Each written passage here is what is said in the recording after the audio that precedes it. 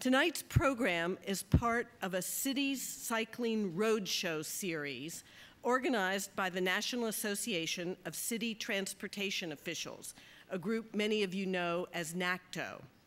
NACTO has rounded up some of the best transportation planners and engineers from around the country to help us identify better biking solutions that will work in Atlanta and Decatur. In practice, I'm sorry, at the Blank Family Foundation, our trustees challenge us to innovate constantly. In practice, this means we're always seeking innovative solutions that enable communities to achieve results and go beyond what seems possible today. We are thrilled to see so many biking innovations, solutions for better biking, and we're looking forward to being part of the many new solutions in Atlanta. Some of those new solutions are starting right here at Georgia Tech. In the last year, Georgia Tech has adopted an innovative bike share program called ViaCycle. And the university's invested more than $200,000 in bicycle infrastructure. More than 5% of the campus population is already using bicycles for their daily commute. Thanks to these efforts, this week, the League of American Bicyclists recognized Georgia Tech as a silver level bike friendly university.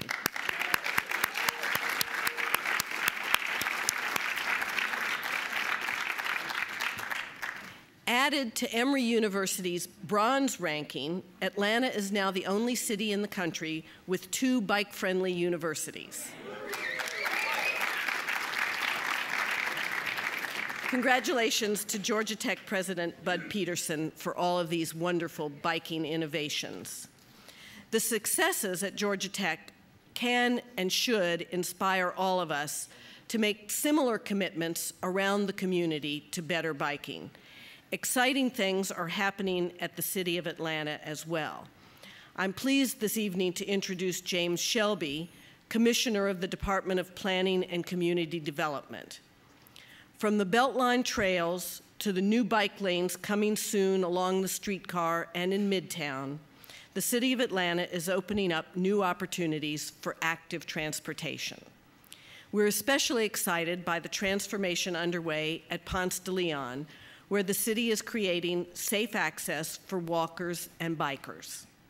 And just a couple of blocks away from here, the Atlanta Bicycle Coalition, Midtown Alliance, and Georgia Tech are partnering to connect two previously disconnected segments of bike lanes at Fifth Street. We appreciate Mr. Shelby's leadership on all of this work, and we look forward to what's coming next. So please join me in welcoming James Shelby.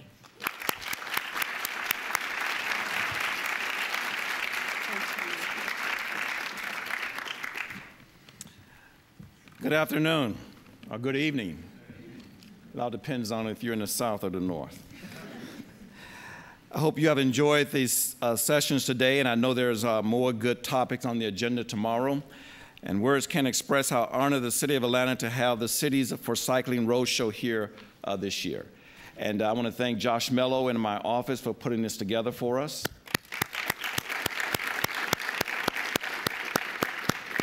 And of course, I know there was other people that was assisting him, uh, ARC and others. Uh, Ms. Ms. Was also uh, helping with this uh, uh, program. Tonight, I have the, dis the distinct honor of introducing our keynote speaker, Nicole Freedman. Uh, tonight, Ms. Freedman brings her vast experience and knowledge of active transportation from the city of Boston, where she serves as the director of bicycle programs. She is a key part of Mayor Menino's vision for healthy, sustainable communities and neighborhoods. Boston Bike seeks to make Boston a world-class cycling, bicycling city by creating safe and inviting conditions for all residents and visitors. Ms. Freedman is dedicated to improving infrastructure for city cycling with the goal of making biking a main street activity in Boston. Since the launch of Boston Bikes in 2007, ridership in the city has more than doubled. Many other important strides have been made in safety, education, and facilities. Ms. Freedman has a degree in urban planning from Stanford University, and she worked for the university's transportation department while launching a very successful professional racing career. After retiring from racing in 2006, Ms. Freedman became known as the Bike Czar. Oh, that's an interesting name. an interesting title, at least. The Bike Czar by the media, and she was given the challenge of taking the city of Boston from one of the worst cities for cycling to one of the best. Here's a short list of accomplishments in 2011 for the city of Boston under her leadership. She achieved bicycle friendly community recognition from the League of American Bicyclists, and Forbes and MSNBC lauded Boston for its success in transforming the city into one of North America's most bike friendly cities launched a bike share system, joining only a few cities worldwide, offering bicycles to our residents and visitors as a healthy and environmentally conscious transportation alternative. She worked in, in helping install its 50th mile of bike lane, notably on Massachusetts Avenue, one of the city's major thoroughfares linking diverse neighborhoods. Community bike programs like the Roll It Forward campaign bring the benefits of cycling to all neighborhoods, including low income areas where many residents could not afford otherwise uh, to, to afford a bike. Ms. Freedman has helped over 2,500 new bike parking spaces, and Boston Bikes have worked with over 10,000 young people. Without further ado, please help me welcome Ms. Nicole Freedman.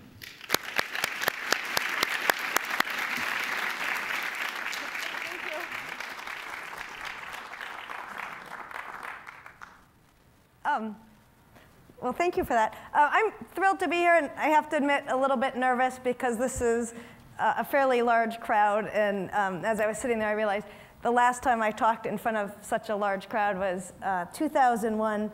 It was the Collegiate National Cycling Championships.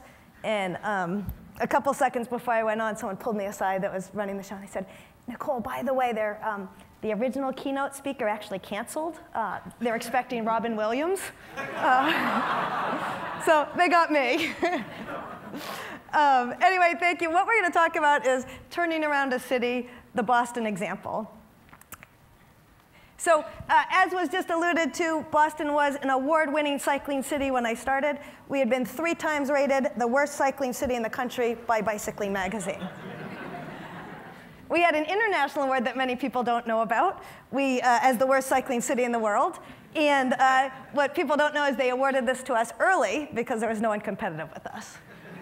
So here's a date many of you probably don't remember from history September 27th, 2007. Uh, Mayor Menino launched the uh, Boston Bike Program, and he pledged to transform Boston into a world class cycling city. And then he pointed to me and said, Nicole, work on the details. So we were off to a great start. This is a picture when we started. We had zero miles of bike lane, and that's a little bit of an exaggeration because if you look carefully, this is the bike lane. It starts there and ends here. 180 feet. We have creative driving techniques that many of you have heard about, and I think this photo says it all. You've got one car on one side of the yellow, another car going in the same direction on the other side of the yellow, a cyclist down the middle of the road, and she has no helmet. Okay, so what does it mean to start a bike program and where do we go? And I realized my family is actually a perfect way to describe it. So we've got myself in the top left, and I raced professionally for 12 years. And the hairier the roads were, the more cars, the happier I was. I loved it. It was a little bit of uh, exhilaration. Uh, the program is not about me. And then I look at my dad, and I realize the program is not about my dad either. For his 60th birthday, I bought him a bicycle.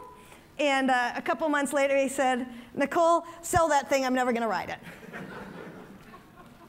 However, the program is about my mother. She lives in the suburbs outside of Boston where there's quiet residential streets, and she bikes two or three times a week.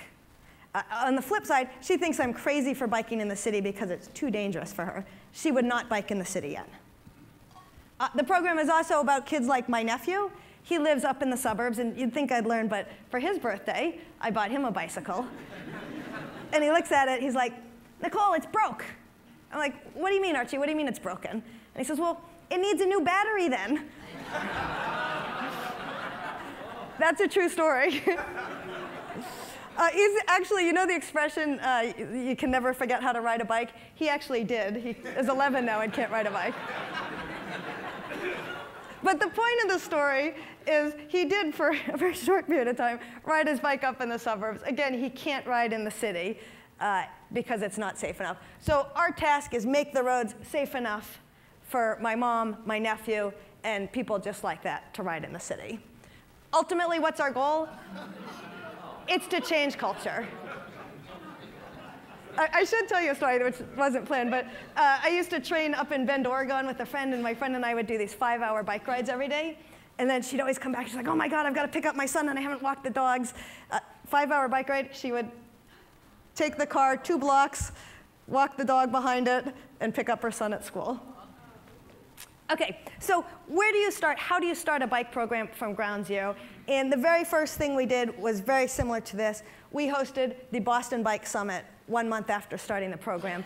And we brought in all of the advocates from around the city. We had all of the local professionals, all of the city officials, and then we brought in some national experts. And for two days, we discussed what should we do in Boston? How can we transform the city? And out of it, we came up with some guiding principles. So number one, and I talked about this earlier, was just start already. And there was uh, advocates that had been working for 27 years at the time, uh, and nothing had happened. And we knew that we have to get things in the ground right away. We couldn't start with a long three-year master planning process for bikes because we would lose all credibility. And uh, one thing that made me very happy, this was, uh, there was one advocate in particular, 27 years this year, was the advocate's 30th year of bike advocacy. Uh, so we gave um, her a Lifetime Advocacy Award this year from Boston Bikes. Um, unfortunately, we were a little late because uh, she had just had uh, gender reassignment surgery and no one recognized her.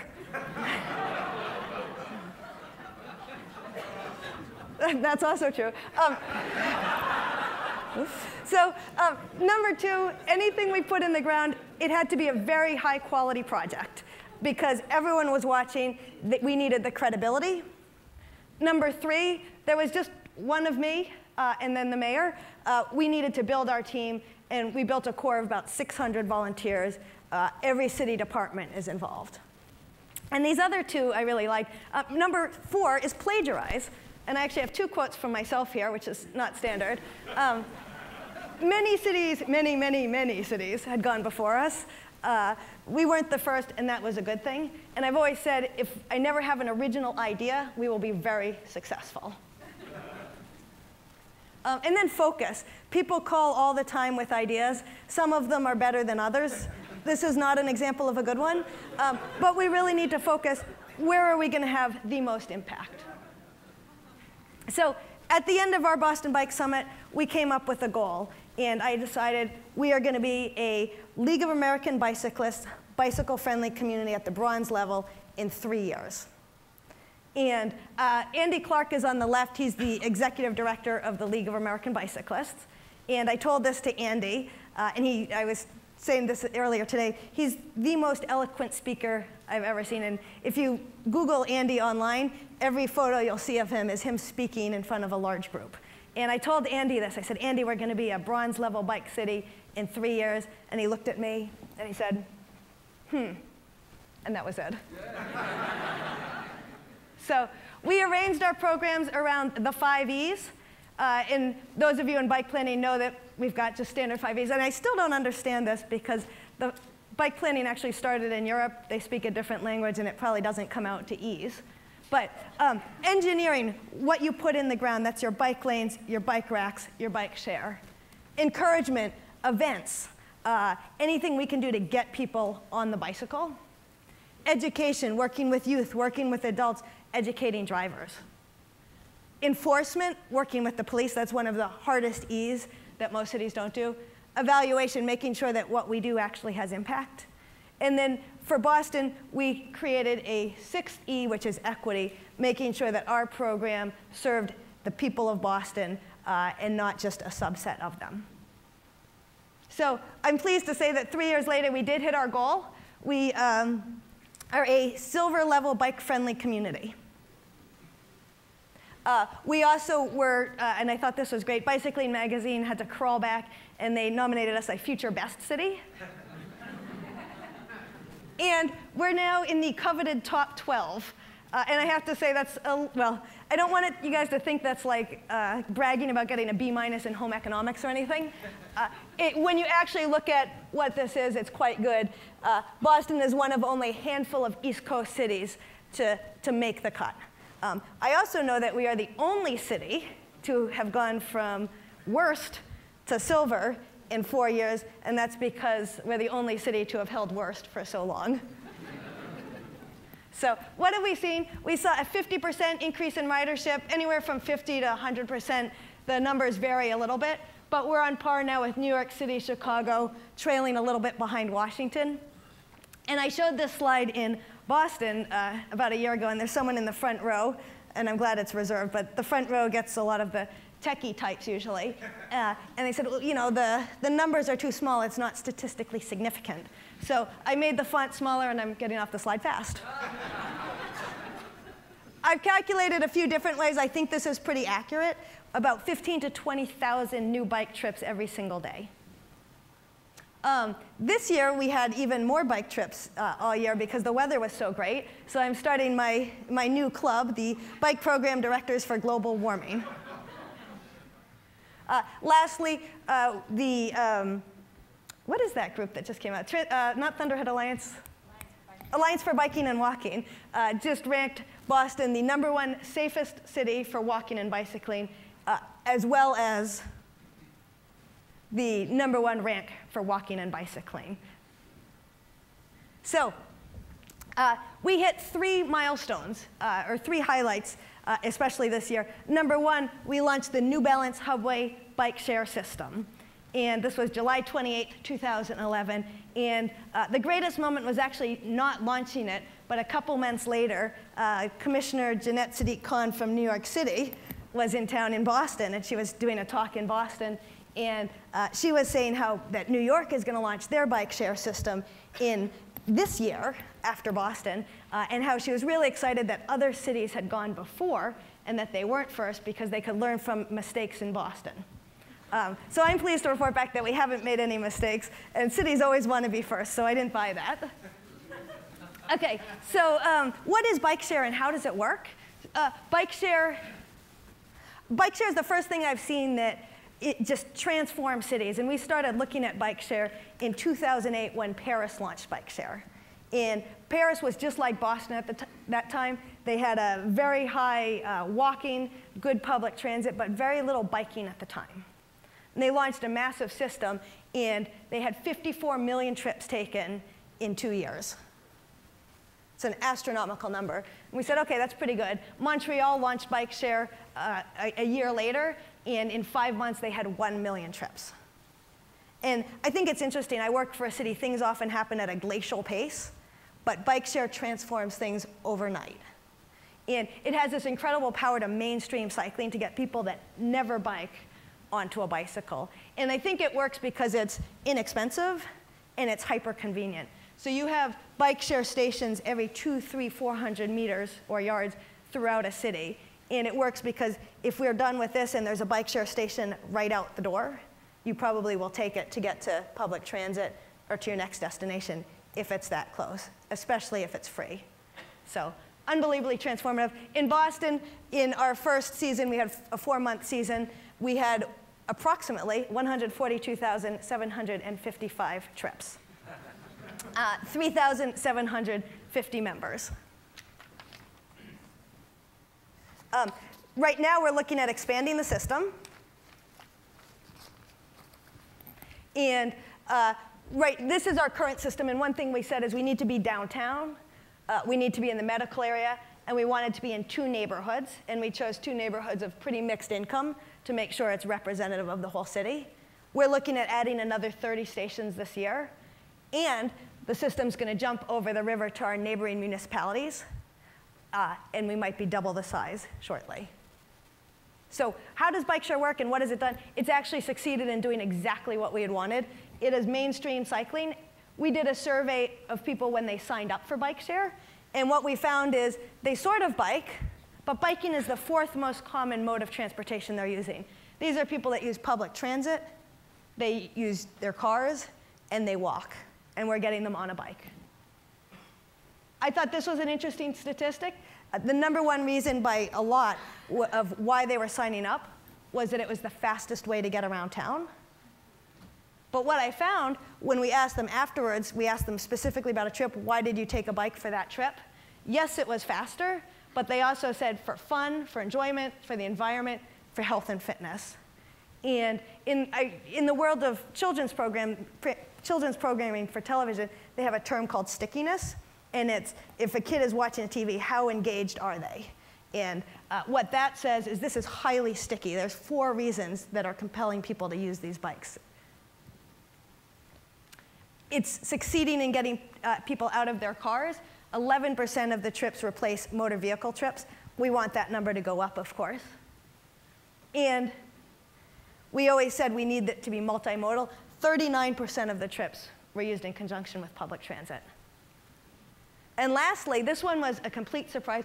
I calculated that $3.4 million was spent by people on Hubway bikes, and that's in a four month period. And what we found is that uh, about 29% of trips, on 29% of the trips, people spent money. When they spent money, they spent $83. So system-wide, that's $24 per trip. And what's great about this is when you're on a bike, you are shopping locally and you're supporting your local shops. So for the mayor, there's three things that were really important with, with bike share. One was, again, this equity piece. So, uh, and I know there's a bunch of you from the CDC here, so I want to thank you. Uh, with the grant from the CDC, we were able to support 600 subsidized memberships, which cost $5. And I have a, a program manager that is working uh, pretty much every day to sell the subsidized memberships and get people interested.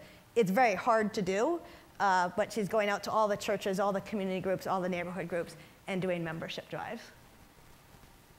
Um, number two was safety and helmets. So um, one thing we saw quickly is our citywide helmet rate is about 72%, but with bike share it was only 30%, and we knew that had to change. So we worked with CVS, Walgreens, and all our sponsors, and have 37 sites that now sell bike helmets for $7.99 to $10. And what we knew is we needed them to be accessible, and we needed them to be low cost. But that's still not good enough. So uh, I worked with uh, a, a, team from MIT approached me. There were some senior students in their capstone class, so they had a semester project to do. And they approached me and they said, hey, Nicole, can, you know, is there a project we can do? Do you need like a bike component made or something? And I said, ah, they're MIT students. They've got four months. I said, you know, I, I, what I could really use is um, a helmet vending machine that you swipe a credit card, you get a helmet, you take it, uh, you return it on the backside, it cleans itself and gets back into the system. So, and here it is. and there's the helmet. So we're hopefully launching these this June. Um, and I have to say, I wasn't the least bit surprised. I had an intern from MIT uh, last summer, and uh, she comes up to me one day. She's like, hey, Nicole, do you mind if I take next week off? I've got to go to Florida. I said, sure. She says, well, um, actually, you know, I have to go, NASA wants to launch my satellite. Um, I, I, said, actually, I can't spare you. I've got some very important data entry to do. so uh, the third piece that we needed to really up before bike share was the enforcement piece. Uh, getting our police to work with us, not against us. This photo, I want to point out, is not Boston. Um, in the spirit of good humor, it's New York City. so, um, and what we did is the police started uh, pulling over cyclists that were running red lights. They'd give them helmets, they'd give them a ticket. They gave out 279 tickets to cyclists. They also pulled over drivers that were parking in the bike lane, and they gave out 978 tickets to drivers. Um, with their help, we distributed 5,126 helmets. So, milestone two, this year we installed our 50th mile of bike lane, and it's been steady increase every year, 15 to 20 miles. By the time you hit 50, you can see you have a network that really helps you connect and get around town. And I showed this earlier today, but each one of these colors represents a year. At first, I'd get a lot of calls, hey, Nicole, are you crazy? Like, these bike lanes start and then just end.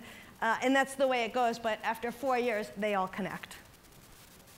So I did some statistical gymnastics, and given where we started with 180 feet, we've had a 1,523.3% increase in bike lane mileage.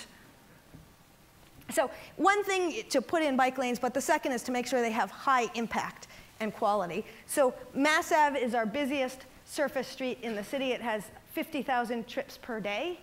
It's a major commercial district, and sadly, it had the highest accident rate for cyclists in the city. We had over 226 accidents in, uh, I think, in one year.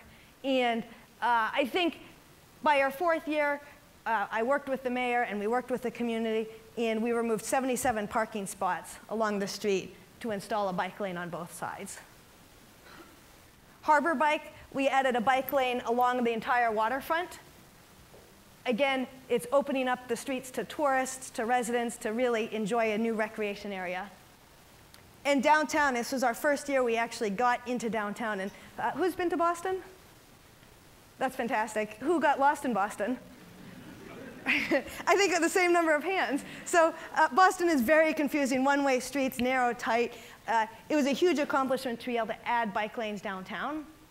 And then we said, well, bike lanes are not enough. We need wayfinding in downtown because even I can't find myself around. So I worked very hard with our engineers at Toole Design Group, and they're here in the audience, and we came up with a, um, what I think is a uh, ingenious uh, and very clear signage plan. Whoops. There it is. uh, and that's going up hopefully this month. So lastly, bridges are key to Boston, and we've got bike lanes now on all of the main bridges. Um, so I have to say, uh, the, the bike lanes is really a team effort, and uh, for, as we were hitting the 50 mile mark, I'd get a call down to the mayor's chief of policy and the transportation commissioner every day, and they'd say, Nicole, Nicole, where are we? How close are we to 50?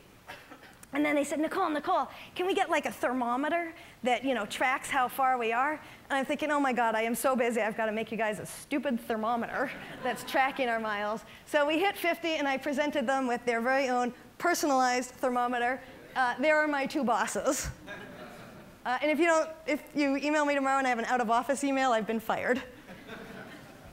so network plan, this slide has never managed to um, format itself very well, and I don't know why. But in addition to creating all these bike lanes, uh, our fundamental philosophy was just start already. With that said, we knew we did need to plan. So we are nearing completion on our bike network plan that will guide our development for one, three, five, and 10 years down the road.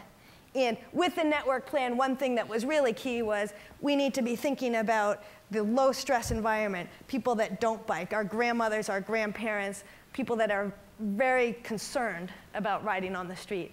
And what we came up with was 100 miles of multi-use path off-road separated from traffic, 64 miles of separated cycle tracks. They're on street, but they provide separation.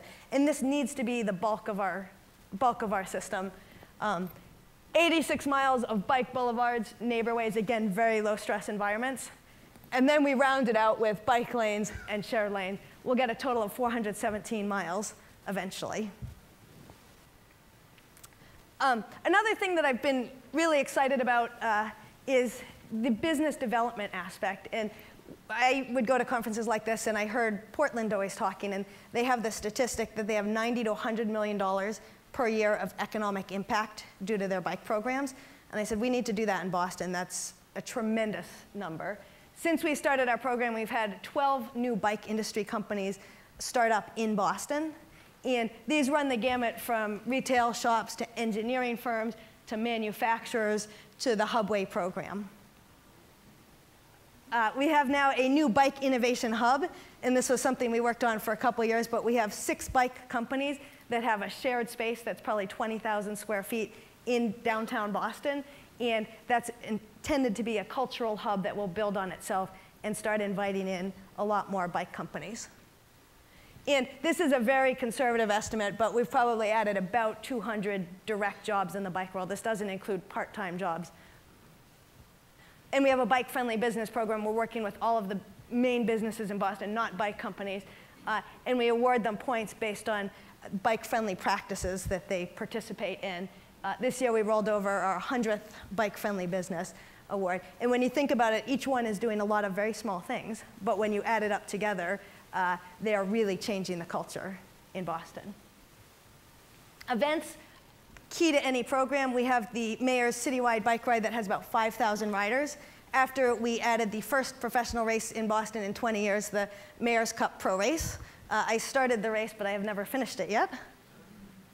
Um, and then our community bike programs, I think, is really the third pillar of what we've done and one that I'm, I'm, most proud of. Again, thank you to the CDC because it was a grant from, from you guys that we've worked on. And so uh, it was stimulus money. There was a stimulus grant that came out a couple years ago, and I started writing this great application, and you know, words were flowing off my pen, and I was promising all these amazing things, and I said we're gonna, you know, refurbish and collect and donate a thousand bikes and work with 10,000 youth and uh, have farmers markets with bicycling, and then I got the grant. And I said, oh my God, what do I do? I don't know how to do any of this. So uh, I hired, um, well, I did the only thing I knew what to do. I hired someone much smarter than myself, and he's worked tremendously hard. We just donated our 1,088th bicycle. Uh, all go to low-income residents in Boston. Most of them either live in public housing, are homeless, or part of some uh, unemployment-type program. And when I thought about it, that's, that was one of the hardest programs we had because I thought, one, we have to collect a 1,000 bikes. Where are we going to get a 1,000 bikes? And we set up with all of the suburban bike shops, uh, we set them up as collection points, and people could donate bikes out there. And there's a lot of wealthy suburbs, so we focused on them. Uh, and then we'd bring the bikes in, and we'd have our staff, uh, a bunch of uh, part-time mechanics would fix them up. And then we worked a lot with public housing and every social service agency, and always gave out the bikes in groups because it'll reinforce the usage of it. Uh, we worked with 7,773 youth. All of these programs were on a bike. That was one of our rules. And each kid received four hours of training. And we absolutely wanted it on the bike. We said being in a classroom uh, talking for an hour about bikes, that's not going to change culture. But when I looked at 7,773, what you realize is after three, four, five years of this, you start to hit a critical mass of all students in the Boston Public Schools. That's in one year, 10% of the kids in Boston public schools. And then we uh, identified a problem in low income neighborhoods. There's no bike shops. So, uh, and I, I gave this statistic earlier, there's 250 million bikes in the US, and probably 249 are sitting in people's basements with a flat tire. So this program set up at 80 farmers markets in the neighborhoods, and people could bring their bike and get those bikes fixed for free. Uh, and lastly, we worked a lot with partners uh, we have a motto in our, in our office which is yes. So if someone calls us and says, can you bring bikes to an event? Can you, you know, provide instruction at this class? We say yes. And, and what's the impact? Uh, and I think this is the bottom line, is how impactful are these youth programs? So we did, I had a poor unpaid intern call as many families as possible that participated in our community bike programs.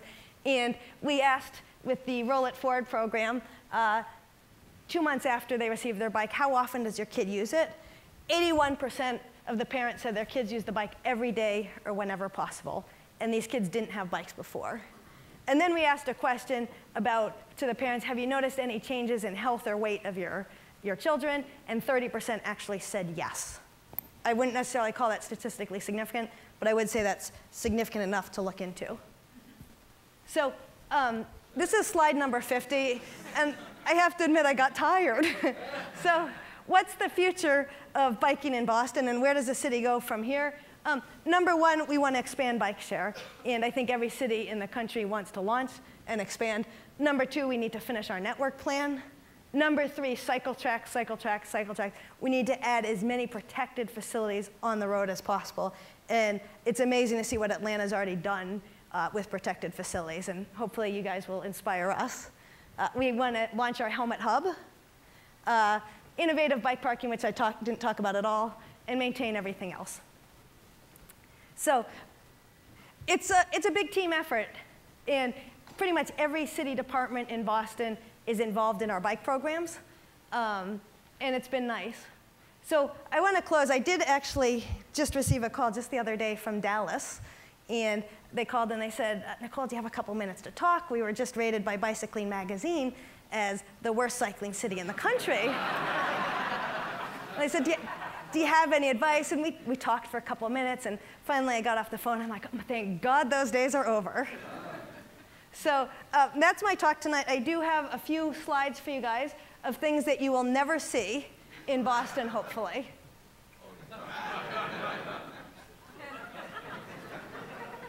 Um, so anyway, I'll leave it with that, and I know we have a lot more for this evening.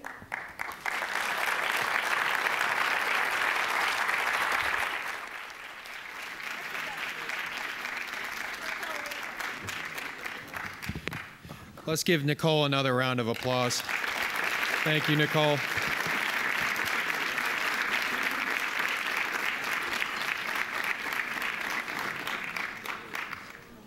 So my name is Joshua Mello. I'm the Assistant Director for Transportation Planning with the City of Atlanta.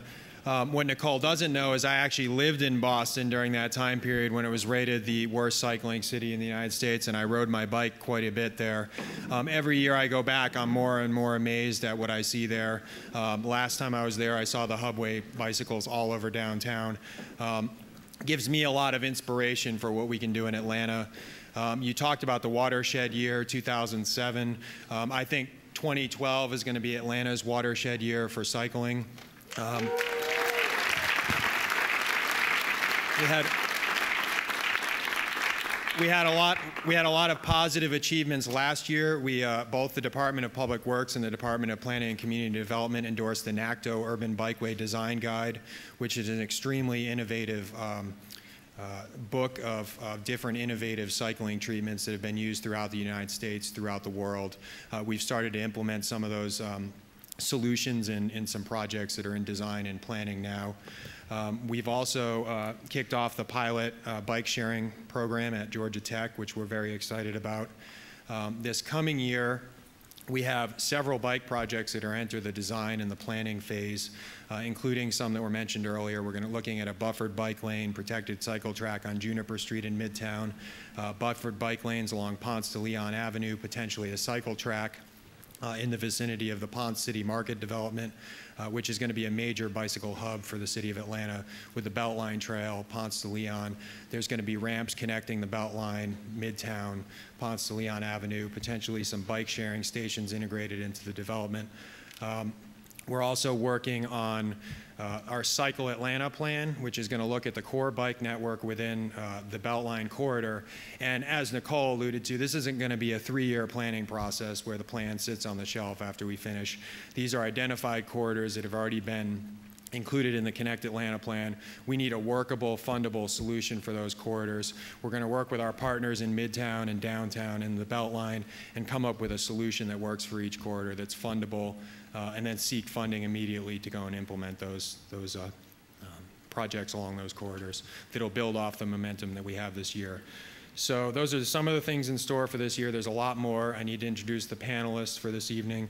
Um, Nicole, who you've already uh, heard from, is the first panelist uh, for this evening. She's with the City of Boston, as you heard. Um, our second panelist is Nathan Wilkes. He's with the City of Austin. He's an engineering associate for the uh, City of Austin. He's directly responsible for the planning, design, and implementation of bicycle facilities in the city, and he's with the Department of Public Works.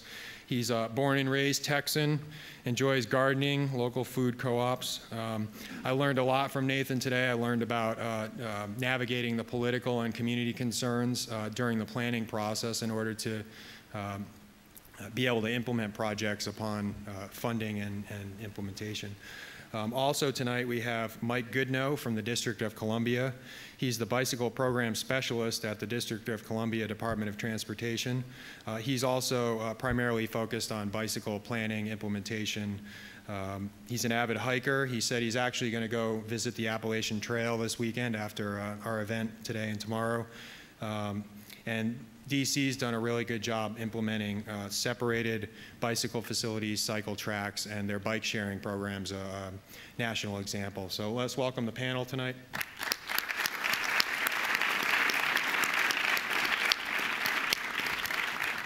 I just want to kick it off with a, a, question or two of my own that I've been really dying to ask.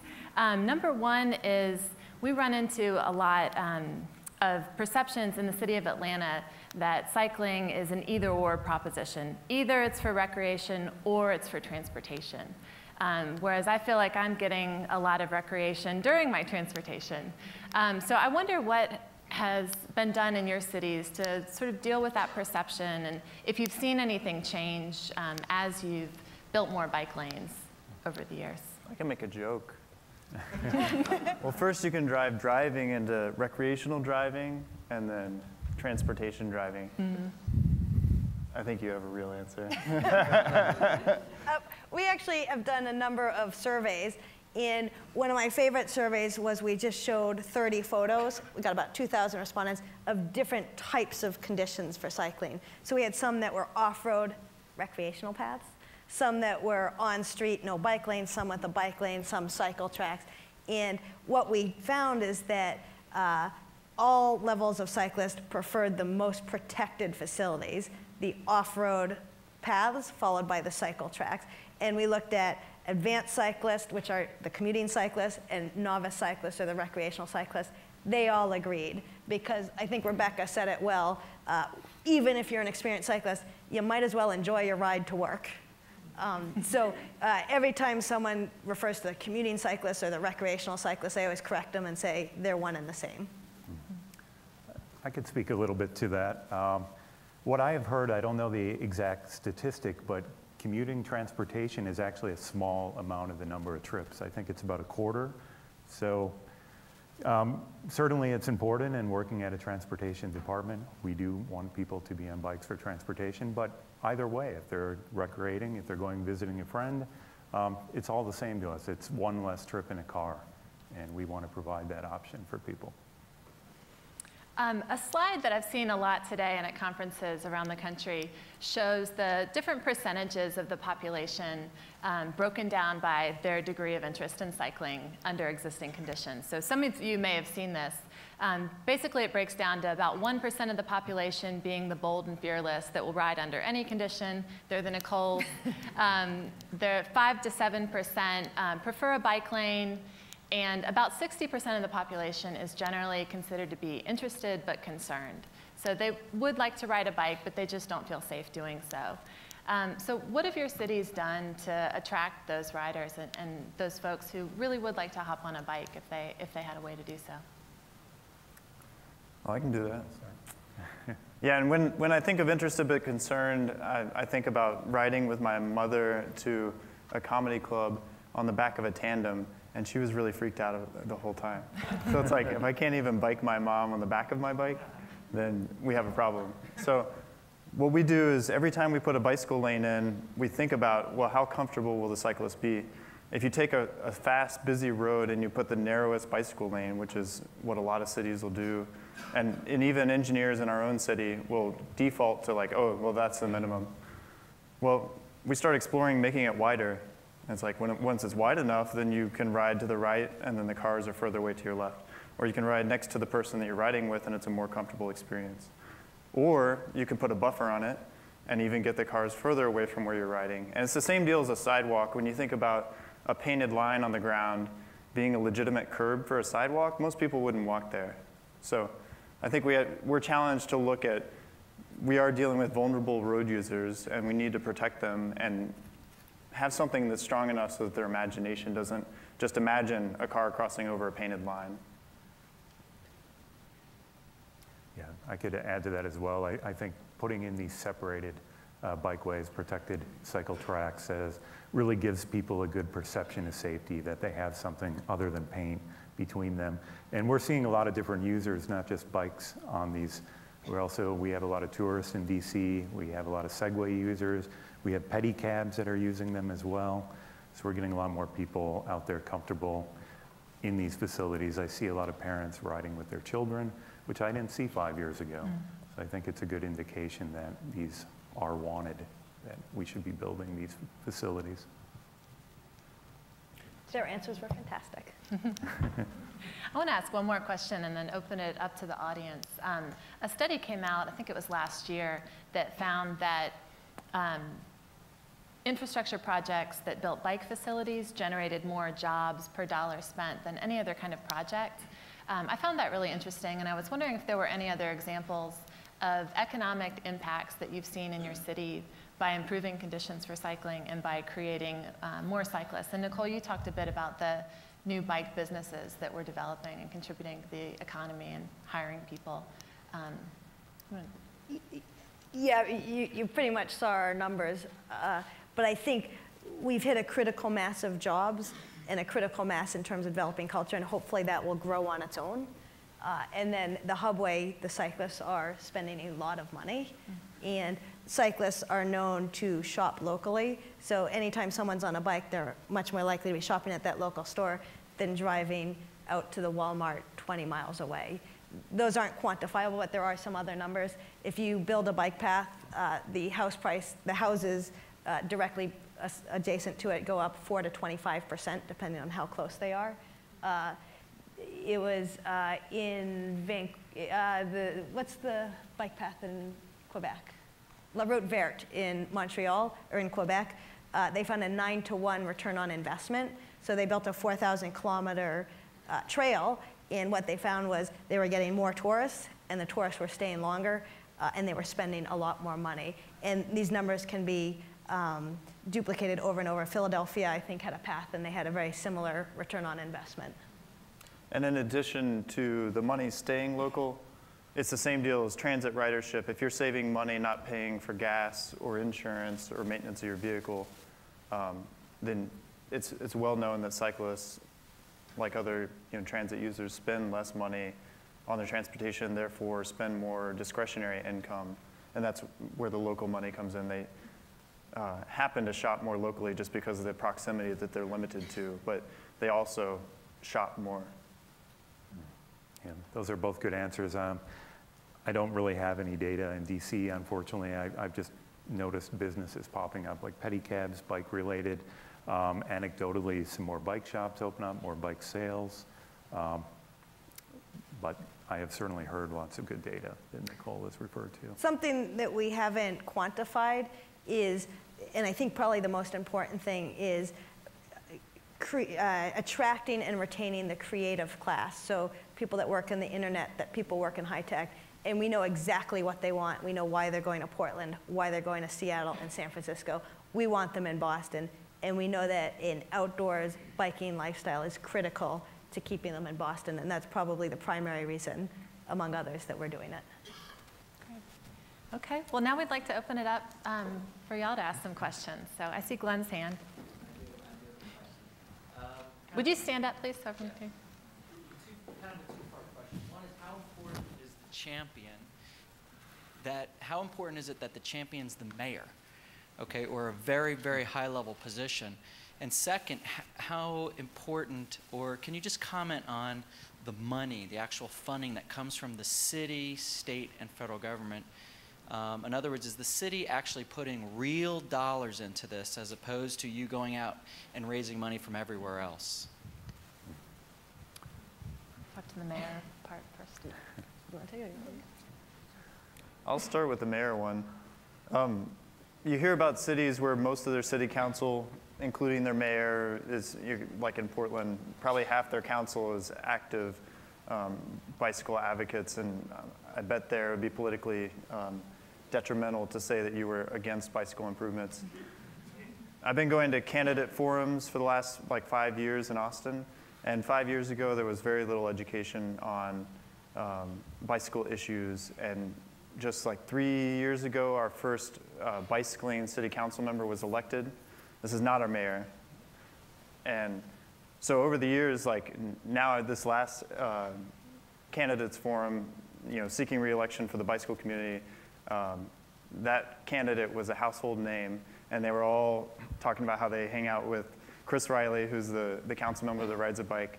So there's definitely like building clout within our, uh, you know, political leadership, but we still don't have like a, a leader like, you know, Chicago's mayor. Um, but it's definitely moving that way. And, and we're still able to do a lot, but I, I think it sounds like Nicole has some nice uh, leeway as well. I would say the mayor is everything. when I got the job, I called the top six bike friendly cities in the country, asked them a slew of questions, asked for their advice. Every single one of them said, uh, make your mayor the leader the mayor needs to lead. They also said, get your position right into the mayor's office. It's opened every single door that we could have. Uh, so the most important thing you could do. In terms of funding, Boston's funding has gone from about 450,000 for bicycle design and implementation a year to about one and a half million dollars for bike design and implementation. Our three-year budget is about 12 million now or 14 million. Uh, so it's, it's a substantial portion of all the money, but we always want as much as possible. Yeah, I can also speak to the mayor's support. Our previous mayor and the current mayor have been very supportive of bicycling in the district. Um, additionally, the previous mayor hired a very friendly, bike-friendly transportation director, Gabe Klein, who is now working for Rahm Emanuel in Chicago. And a lot of the stuff we've been doing the last two years, we had those projects, those ideas on the shelf for years. And we just didn't have someone who was willing to take those on and be a champion and really push those through. So Gabe said, yeah, let's try it. Let's see what happens. And we did, and um, people wanted more and more. And we've had a very dedicated city council. Two of the city council members are pushing us quite a bit on bicycling um, and actually have provided dedicated funds each year, 1.5 million, that we can spend on bicycle projects as we see fit. Other questions? Back? We have a very contentious issue in um, Boulder with truckers or just people riding on the roads up into the mountains, riding not single file, riding multi-file, if that's what you call it.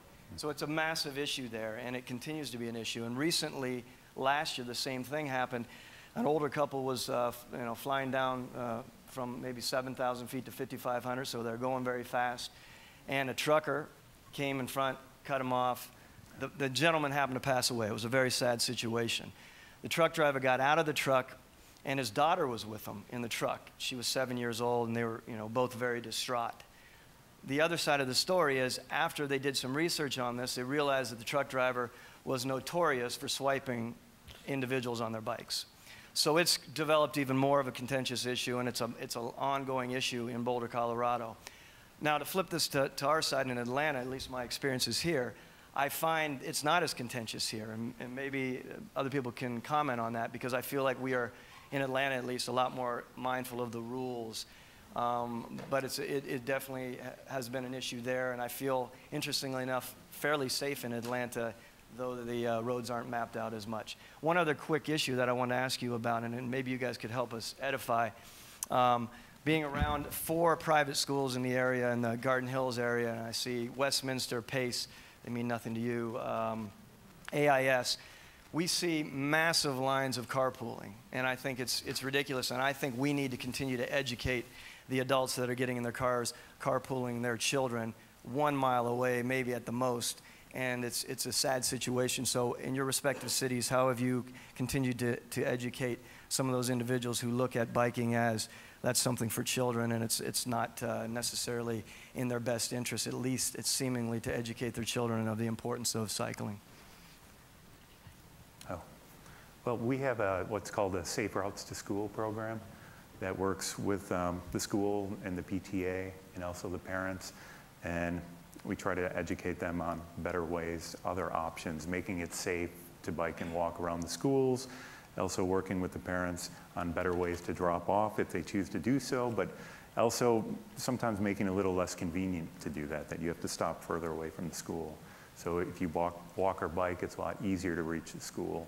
Um, but there are always some parents who won't do it any other way, and sometimes they're bringing their child to school on the way to their work. Um, so it, it's just constant effort working with them. Uh, Brennan? I have a good story Oh, I'm kind of in that line. I think it was in Copenhagen that I heard it, and it was a teacher that took it upon herself to change the patterns around the school. And she dressed up as a giant pylon and block traffic in the street and just set up a perimeter. but it's back to the convenience thing. People do things because it's the easiest way. If it's easiest, fastest way to drop your kid off at the doorstep of the school, that's what you do. If you can't get that close to school and you have to walk your kid the last, you know, 500 yards anyway, 500 feet, whatever, then you'll be like, well, maybe I'll just bike with my kid to school next time. So I think we have to think about structural behavior changes as well. Uh, I'm one of those that I guess go through red lights, but uh, I was hit uh, just from behind. I've never been in too much danger by breaking the rules, but uh, it's it's the cars that are the problem, and I'm wondering what what how do you do that education? Uh, yes, it's you know I should be better about these things, but uh, that we're not the problem. Uh, and so what how do you educate drivers? I guess is the, the, the, question. Well, there's this good plot that every city and every community can replicate, and that's the safeties and numbers, safety and numbers plot. And, and it's shown across communities as well. So I think maybe the best thing to do is get a lot of buddies, start riding. But the more cyclists there are on the streets, the safer it'll be for you. And that's when you start to see a lot of the culture change. I, I don't know if there's a quick, easy answer to be seen as a cyclist. A lot of these things I don't think are intentional, and it's just distraction and. There is a lot of intentional. Uh, there is a lot of animosity. I mean, I've seen the in the last five years, I've seen the cycling culture in Austin. Like, it, it used to be a little hostile, and you get yelled to get on the sidewalk, even in the urban core, and then now, it's it's kind of a crazy day if that happens. So just because of the amount of cycling that we have in our downtown area now and its cultural acceptance in our community, like the conditions have definitely changed. And there's more cyclists. So I would say four things for that. One is bike lanes work because you're carving out a legitimate area for the cyclist so they don't have to weave between the cars. Um, two, we use the media a lot. The more cycling is in the media, and the more we can keep it really popular and fun and positive, uh, it's sort of an education for everyone. Three, we do, uh, we do try to educate the public. We do an excise tax mailer to every single driver in Boston every single year. That's about 500,000 drivers. Four, I think Hubway works really well, our bike share system, because you're taking people that don't bike, that normally drive, putting them on a bike, and all of a sudden, uh, they're going to be a little more sensitive to your needs. Maria. Um, could you please talk about how you collaborate with pedestrian advocacy organizations and public transit groups?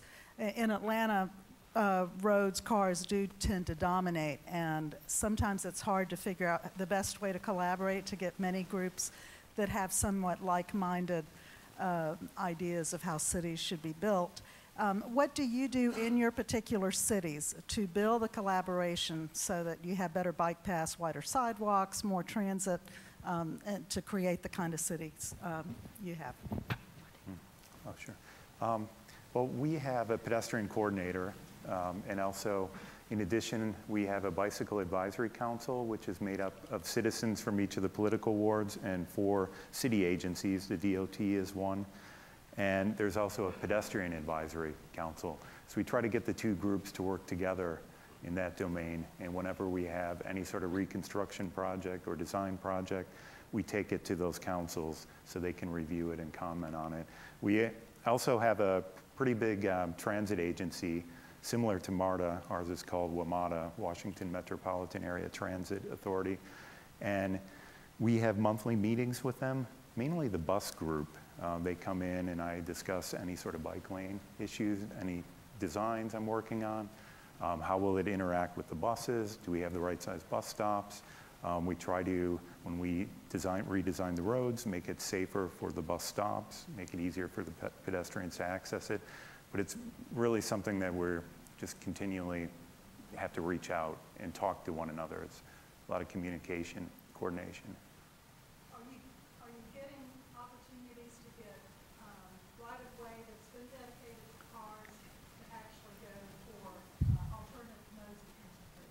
Um, it's a challenge, especially DC, very dense, older urban environment. Um, we're starting to with some of the separated bikeways, um, take away parking or a travel lane. We find there's overcapacity, um, that we transform it. We found two to make pedestrian improvements where there is full-time parking. We can bump out the curb, so it shortens the crossing distance for pedestrians. So we're getting a little bit here and there and just incrementally improving the whole framework for them. And Nathan, I know you talked about road diets, which are when you, you do um, transform a, a motor vehicle or a shared lane into a lane with some, some dedicated space for bicyclists in, in Austin. Do you want to talk about that? Yeah, unless you're willing to rebuild the curbs, you're almost certainly talking about the space in between the curbs for bicycle infrastructure, which means repurposing it, whether it's lane widths are changing. We do a lot where we narrow the lane widths. Um, and then we do a lot of assessing capacity on the street. And if it's not the critical point on the corridor where the cars really get choked up at lights, then there's a lot of road configurations that are viable alternatives that provide bicycle facilities but still safe um, and efficient traffic operations for motor vehicles. So, and, and the same thing happens in Austin for sidewalks as well. There's a big movement in downtown to widen the sidewalks. Hi, um, I got a question. Um, I'm a triathlete and a, and a competitive cyclist. Of course, not as competitive anymore, so I'm over 50, but um, I have a juniors team. And um, I'm from OTP, which means outside the perimeter. So um, I, I, went to Georgia Tech, so I don't get hives when I come ITP. But um, the, the question I have is the statistics we saw from Florida, and I think they're similar in Georgia, I haven't looked up. There's 13,500 registered triathletes in Florida and only 1,500 competitive cyclists. But those are the most road users that are out there. And right now, my Thursday night ride is happening in Roswell, and my son's on that ride. He's 15. Um, and they ride as a group. And do you pay any attention in your engineering to um, thinking about when there's mass rides, is there anything we can do to accommodate or help the mass riders as they're out there? And I've got a comment for this gentleman who got hit by from behind. I was the guy that was hit by the off-duty police officer back in January, and that was the one time I didn't look back. I teach my kids, you got to look back when you hear it. You got to look back when a car is approaching. So if you're not turning around looking, you're just a bike. You're not a human yet. So the more you look back, I think, is to protect you for that. But do you do any engineering consideration for the mass rides or group rides that are out there? And do you have any policies that uh, you discuss with your uh, potentially elected officials? You know, we actually have it in DC. We do have uh, the Potomac Pedalers, which is a, pretty large uh, bicycle group. Um, we have in it, and I guess I've always looked at it, and maybe this is the wrong interpretation, that a lot of them are fairly confident that they take over the, the street. Um, so we haven't done anything special for them, really. I have to look at that. I don't know if you too. It's, it's not an issue in yeah. Boston. Sorry. Hi, uh, this has been fascinating. Um, uh, one of the issues in Atlanta is that sectors of the city are cut off from other sectors of the city, and the only way you can get from one sector to the other is on a busy road. We have railroad tracks that, that cut off the city north, north and south with just a couple of ways through those tracks. We have highways that cut off the city north and south and east and west. If you want to ride from southeast Atlanta to Buckhead, it's practically impossible to do it in a way that the 60% that you were talking about would consider safe. It's very frustrating. How have you dealt with issues like that in your cities? That's a, that's a great question. Number one, in the short term, you're picking off low hanging fruit. There's a lot of trips that are happening within each of those areas, so you can focus on that. Meanwhile, you want to be planning for the big connective projects. Things like that, they can be multi-million dollar projects. You need to raise a lot of money. You might be losing an entire lane or two on a highway. You might need to it, create a cantilever bridge, create a bike path. Those projects can take 10 years. You want to start planning for them now. There's no easy solution and there's no low-hanging fruit solution to that. Yeah. They're going to be absolutely critical yeah, to absolutely the success. critical. Yeah, and I, I, think Nicole showed earlier that they have bike lanes on all their bridges, I believe, which is great. And then Nathan brought up an example of a ped bike bridge that they built. And we have two rivers that bisect the city on the edge, um, seven or eight bridges that go across. And we don't have any bike lanes on the bridges. We're reconstructing some of them, but it's a long process. And we're trying to widen the sidewalks as much as possible to put a bike path along with the pedestrian path. But we also have railroad tracks. We have large um, hospitals, other barriers that you can't get through. Uh, Walter Reed was a big example in Northwest where, where they've actually moved. So we're going to start putting some roads through that area and try to reconnect the grid, which is a big barrier, but it's very long term. Do you want to add anything? Yeah, the Cycle Atlanta study that I mentioned earlier that we're kicking off this year uh, is going to look at exactly those issues. The core bike connections that are identified in Connect Atlanta are those key connections that you're talking about that get you across the highways, that get you across the railroad corridors. And the Cycle Atlanta plan is going to look at five of those corridors and come up with a solution for each one of those that's workable uh, and takes lessons learned from other cities on, on what's actually feasible and implementable. Nicole, you mentioned some low-hanging fruit, and I know Atlanta's budget for biking isn't quite as robust as Boston's at the moment. Hopefully to change. Um, so I have two questions. One, how do we leverage Sharrows, the shared bike lanes, and how effective are they in making people more comfortable riding on roads with cars? And secondly, um, Bogota, Colombia, has been the kind of the leader in ciclovias, and Atlanta Streets Alive is just one that we have in Atlanta. Uh, there have been several all over the U.S., in Boston, New York, San Francisco.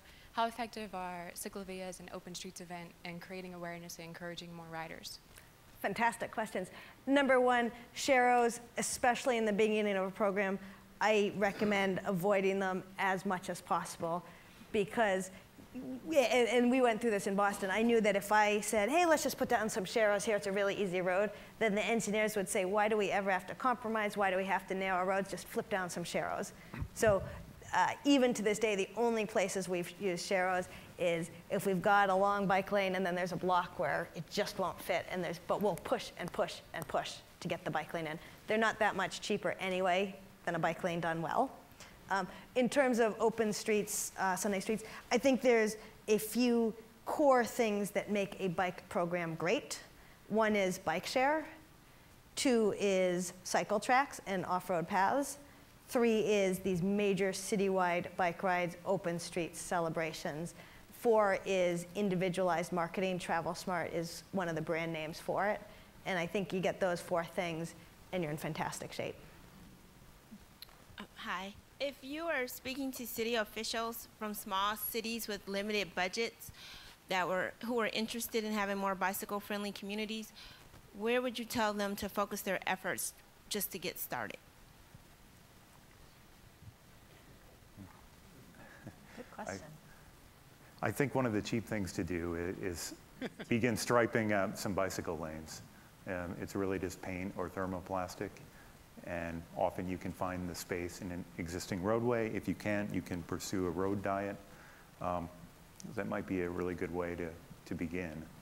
And then the other thing I would absolutely do is get all your elected officials uh, in as big a group as possible on a bike ride for Bike Week that's very public because you need more money and that will eventually build excitement and get you the money you need and the support. Nicole, we can check that box off. Um, Eileen Great. was actually involved in a very successful event this week, the Georgia Rides to the Capitol, where she got Fantastic. 30 mayors and elected officials on That's ride. awesome. Uh, I was curious to know about uh, equity efforts. Uh, Nicole, you spoke a little bit about programmatic elements. I'm especially interested in uh, facility placement. Um, how, uh, what are the best ways of making sure that facilities are able to, like especially bike lanes, are able to get into underserved neighborhoods, especially um, especially in areas where gentrification has put, pushed people into areas that might not be uh, ideal uh, under engineering circumstances for bike facilities because they're less dense. I'll take a.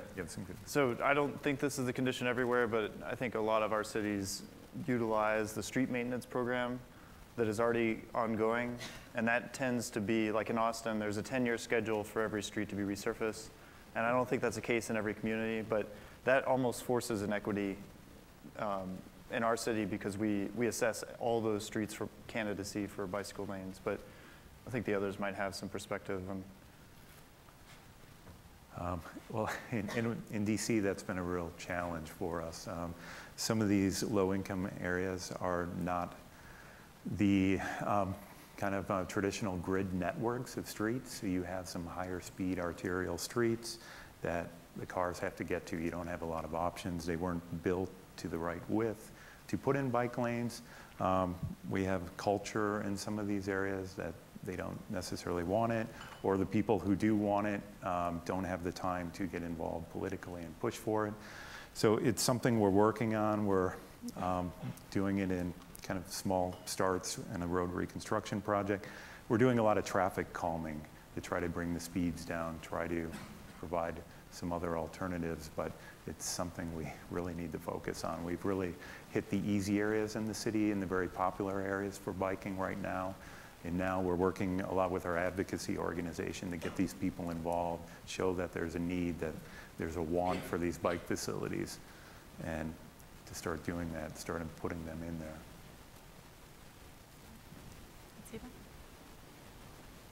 I'm from the generation that started riding a bike to deliver newspapers and ended up getting jobs and camps on bikes. In Atlanta, most teenagers live for the day when they can get their driver's license so they can drive a car. Ten years ago, the city of Decatur started a bike sharing program where it said explicitly minors couldn't participate. So my question is, what are we doing to encourage teenagers, middle school, high school students to use all these bike-friendly lanes and features so that we get uh, more young people on bikes? Our, our community bike programs has been great. One thing we really want to do is increase the age of the kids that we work with. So we work a lot more with high school kids. Boston has a busing program for schools. We'll never get kids to be able to bike to school, but if we can get kids in that 15, 16, 17 age range, that's uh, key. We have our subsidized bike share membership program. Uh, kids 16 and older can use it, so we're focusing a lot on the high schools. And um, we, we're doing our best. It's really hard to try to hire high school kids to be some of the instructors for our, our youth programs as well. And that way we'll create a culture within the city that self-perpetuates. And you're doing a lot of bicycle education for kids as well, right? Yeah, 7,773 kids. That's a lot. Approximately. um, one thing I'm dying to do is start a, um, a high school competitive league. Uh, it doesn't even have to be that competitive, but they did it in Northern California. It's fantastically successful. And cycling is a great sport for kids that have failed in every other sport. Uh, you can even be a little bit overweight. You don't need to be coordinated. It doesn't have to be that competitive against other people. So it's a, it's a great sport for more timid athletes. That must be why I'm a cyclist because I'm not coordinated and overweight. Uh, my concern is that 10 to 20 percent of our drivers now are on the cell phone and a few are texting. And I'm curious to know if you have any solutions for that or ways to work on it. We have a state law, no texting while driving, and the police enforce it. Uh, it's, it's good to hear they enforce it. We, we also have a law. I've talked to some officers, and they find it difficult to enforce. It's just so vagrantly um, violated. Um, the texting one? The, more the talking on the phone. That is illegal as well. Um, Yeah, we have a no texting law locally, and there's murmurings of, you know, possibly a handheld uh, prohibition, but uh, I think the people, political leaders are looking for backing to take that on. The statistics are there on, on the safety implications of that. I'm guessing that wasn't the most satisfying answer for you. You're in the front. Um, Nicole, in your presentation, uh, you spoke of multimodal travel with uh, a lot of the bike share users using also uh, public transit and walking. Um, well, here in Atlanta, there are some areas that are well served by public transit and some that are walkable, but not most, I'd say. Uh, MARTA is chronically underfunded and uh, been making a lot of bus route cuts. The trains have been cut back. So my question is to all of the panelists, uh, how critical a role does walkability in a city and uh, public transit play in the success of your uh, bicycle programs? It's an interesting question. Density helps. Uh, I think the number one reason people tend to bike or walk or take public transit is because driving is too inconvenient and too expensive. So uh, that doesn't quite answer your question, but the harder you make it to drive, the more people will bike. And I ended a presentation earlier today, and I said, look, if I could do anything in, the, in my power, I would never add a single bike lane in the city of Boston. I'd put in a congestion charge, a $5 gas tax.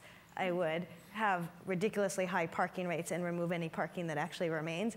Everyone would be biking, no one would be driving, and I would never get elected for any official position.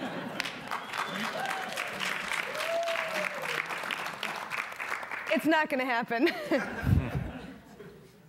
I mean, I think, I think we're about to see many cities that are on the lower fringes of transit and walking access, you know, launch bike shares, and we'll see how successful they are. But everyone we've seen so far is that it's transformative. Yeah, and in uh, DC, 35% of people don't own cars, and about 38% take transit, 12% walk. Um, it's really crucial if, if we had so many people driving, there just would not be space available, and it would be complete gridlock. And the density, as Nicole said, is really crucial. Um, just changing the land use, getting the short distances. A lot of people don't want to walk for more than 15 minutes or so. Uh, biking, you can easily do five miles, but when you get beyond that, um, I've heard in Europe they're starting to experiment with electric bicycles or electric assisted to extend that kind of catchment area beyond the five miles. So just providing these other, these other options. In the, Oh, go ahead. oh, in the near future, they may ask the question, before you invest in high-speed transit, do you have a bike share system? You know, so it's kind of the chicken or the egg thing, and we know that it has you know huge implications on the culture-changing powers of, of bike share. So. And one thing that's happening locally, the Atlanta Regional Commission is funding cities and counties to do last mile, first mile projects where you um, increase the accessibility of your existing transit to bicyclists and provide safe crossing for pedestrians. So I think, um, especially in a city that's kind of sprawled out like Atlanta, it really is key um, to be able to bike. Um, having MARTA, even if it doesn't go everywhere you need to go, being able to get to it safely from where you live and from it to your destination is really important. Um, Aaron? Uh, Nicole, you talked a lot about how uh, I think being rated the worst city was really a pivotal moment for Boston. Um, so, for the two non worst cities, what was the pivotal moment uh, for Washington um, and Austin? And I, know Washington, you said you had two mayors consecutively that were really on board. I, for Austin, you said you had a council member that was an avid cyclist. What, was that enough? What, was there something locally that you know, just having them there, it was the right time. I guess I'm, I'm curious, you know, what caused, you know, that pivotal moment for you to start investing uh, more in bicycling? Um, that, that's tough to isolate. I, I know a few years ago when the gas prices went up, we saw a real jump in cycling too, and then more demand for infrastructure. And I, I think we reached a point where we got a certain density of the, the bike lanes. And people started really noticing that there's this network out there and they started feeling safer using it that really they would talk to their friends about it and then you know the advocacy organization pushing it and and then bringing bike share on board i think that was a real tipping point too um, the bikes are everywhere. They're bright red and people see them everywhere and think well wh- why am i not a member? I should join that too. It, it's much better than driving. I get my exercise. It's easy. I think that was a real pivotal point where we've really seen some drastic increase. I think every city will kind of have a different story in that regard. Ours was um, there was a group that made a, the second attempt at a mandatory helmet law for all ages. We have a, a, a children mandatory helmet law under 16, but it was the 10 years previous they had tried, and then they tried again. And the bicycle community came together and said, this is not what is going to make bicycling safe in this city. And this was a huge city council hearing, so it was a big public forum about what really has been shown to make bicycling safe. And what they said is that we need engineering solutions, we need facilities on the ground, we need education, we need good enforcement.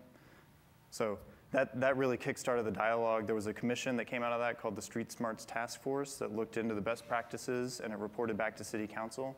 And out of that came the um, revised bicycle plan that we did and, and more support for city staff for bicycling issues, and everything's snowballed since then. But it, it came from a groundswelling of community support, kind of like a room like this.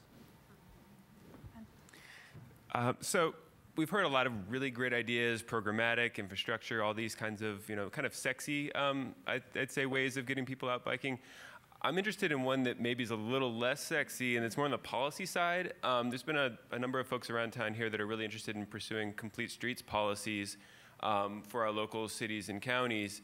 And I'm wondering if any of you have experience, you know, either pursuing complete streets as a policy solution or support for your programming, or if they've been helpful to your efforts, um, or whether they are a waste of time. You can speak to that. Well, we do have a complete streets policy that was passed a, a couple of years ago. And I, I certainly think it's worth pursuing. Uh, we had a bicycle friendly council member who actually really provided the impetus and organized a lot of people around that and got our director working on it. Um, the problem that we've experienced with it is we have the policy and it isn't always communicated down throughout the, the transportation agency or the, the city government, and sometimes it, it's ignored or it's not followed, or uh, maybe the policy isn't strong enough where they, we have limited right of way and they'll say, well, we can't fit everything. So I, I think how you write it and how it is publicized, it, it's certainly something we always follow and we always bring up, but we have difficulties actually achieving some of our goals from the policy. Yeah, I would say that that's been fundamental in Austin is that we have had a complete streets policy. And I don't know since when, I want to say it's been in place for at least six years and, and predating the, the modern bicycle program that's implementing things now. And uh, the head of the bicycle program in Austin is notorious for carrying that around and basically any project. And, you know, we've, we've taken the interpretation that even transportation improvements at intersections to add capacity trigger the policy and that you know, at every opportunity we're getting bicycle facilities and sidewalks in unless that they unless they trip over the 20% threshold and then we come forward and we start talking about what kind of funding can we bring forward to make those happen.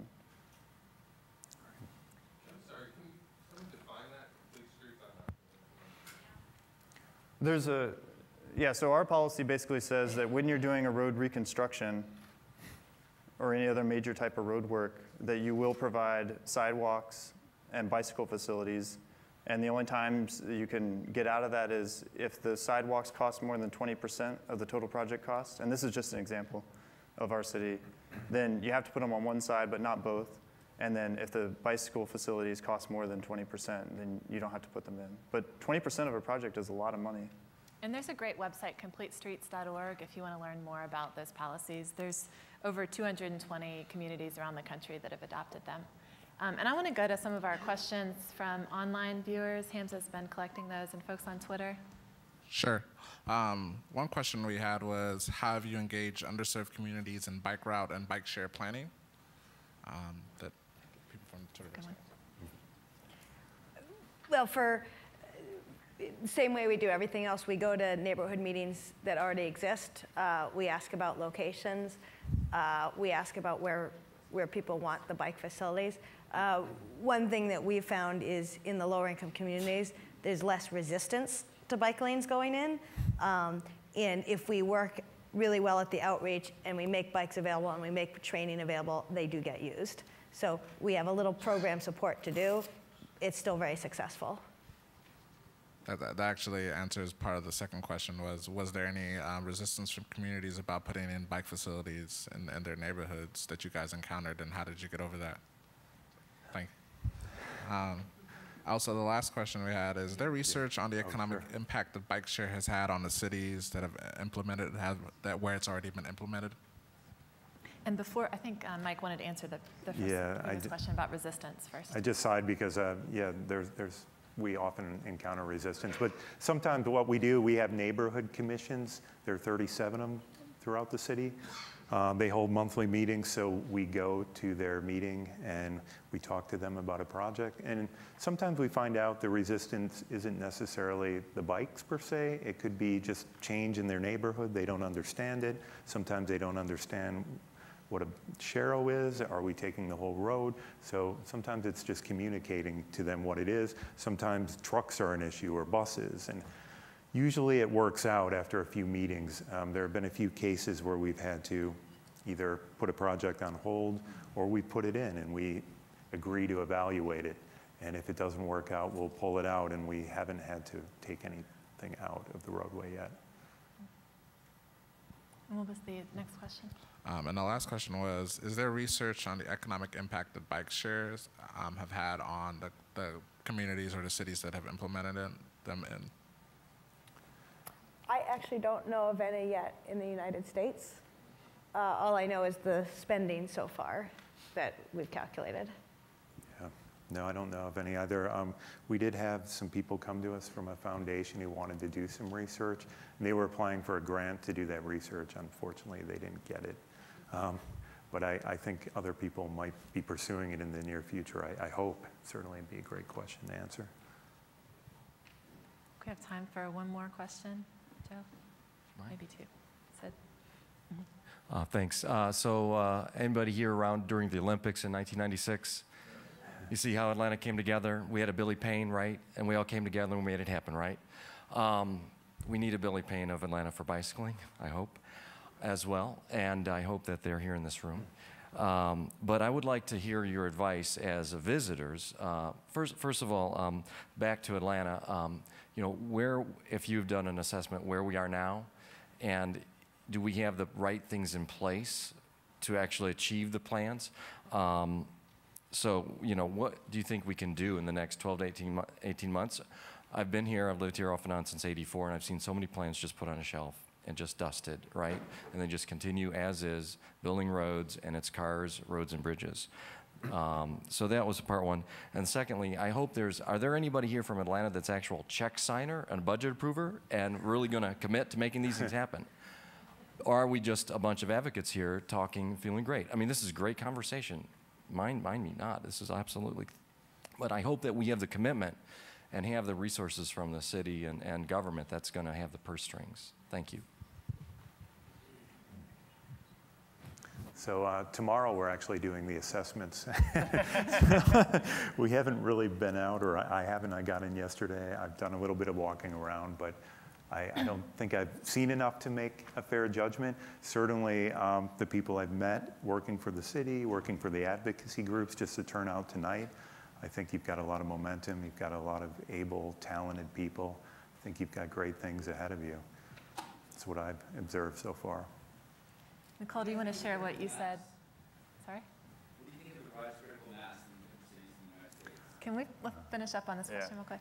Um, Nicole, do you want to talk about what you said today about the, the Ponce project? I, li- I liked what you had to say about that, just how critical it is and what an opportunity sure. it represents. Um, you had a lot of great points. Um, by the way, one at our uh, talks earlier today, there were a lot of city representatives there. Uh, they get it. The fact that this group is here is huge for your city. We did this in Boston it changed the city because it got the advocates on the same page as the city officials that are making decision on the same page as the funders.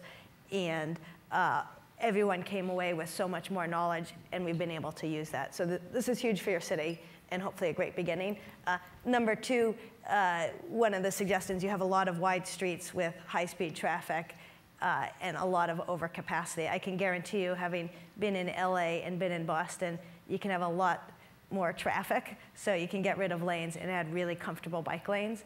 But a five-foot painted bike lane next to some of these four-lane roads is not going to get enough people biking. So you need to remove a lane, put in a buffer. Um, you have a $25 million investment or grant for uh, a 1.5 mile improvement on Ponce Road. And that is the most amazing amount of money uh, and you can do so much with it. That is literally going to be the crown jewel of the city's bike network. You have the ability to put in, you know, raised cycle tracks on both sides, connect it with a bike path that's in the planning, connecting it with a bike uh, mecca, and you get that in, and everything will fall into place. Uh, but don't wait; keep doing everything else too. Thank you so much. Um, that wraps it up for tonight's program. Please join me in thanking Nicole Freedman, Nathan Wilkes, and Mike Goodno for sharing their ideas and challenging us to transform Atlanta into a better biking city.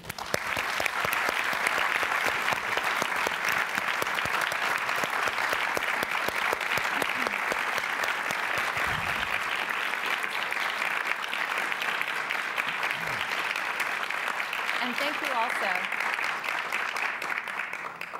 Thank you also to Commissioner James Shelby. It was a real pleasure to have you with us tonight and today during the workshops as well. And Josh Mello from the City of Atlanta and to Via Cycle, um, which if you haven't had a chance to check out this gorgeous bike, please come and take a look at that. And I'm sure Sid would be happy to tell you all about it.